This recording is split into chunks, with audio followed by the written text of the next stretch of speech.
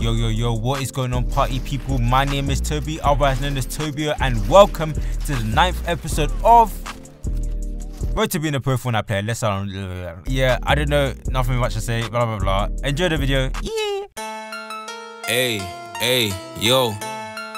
Hey, wait, there's bloom on every weapon, but the AK has too much of it. What's the point in shooting guns if the bullets never hit? Controller players hate this gun regardless of their aim assist. If you ask me, this is another weapon that deserves a diss. You stand still for first shot accuracy, just a freaking miss. I hit my teammates if they pick this gun, they call me Breezy Chris. I do not show love to no shitty gun, so miss me with that kiss. It is not love still carried in the game, so why does it exist? You said it's good, you tried to prove me wrong, and then you called it quits. A normal AR shoots without a starter, this gun shoots in bits. Let's have a deep discussion about this gun, not talking politics. You either hate it or you love it, but the two can never mix. Gold and purple guns are good, but grey to green is really not. If you disagree, I'll call you polo, cause you cap a lot. Cause if you see a guy, you either get the beam or miss the plot. And you know that is why you hesitate to even take the shot. It was modeled after the AK 47 in real life, but they can't call this gun an actual AK cause of copyright. Here's an option, how about we just change its name to freaking shite? Because I'm leaving it at spawn, I can't bring it to a fight. Okay, sometimes you get lucky, but most of the time you don't. Look at this clip, like is this weapon good or did this guy just choke? I guarantee that it'll be out the game if we had a vote. The golden purple variants are the only ones that give me hope. There's bloom on every weapon, but the AK has too much of it.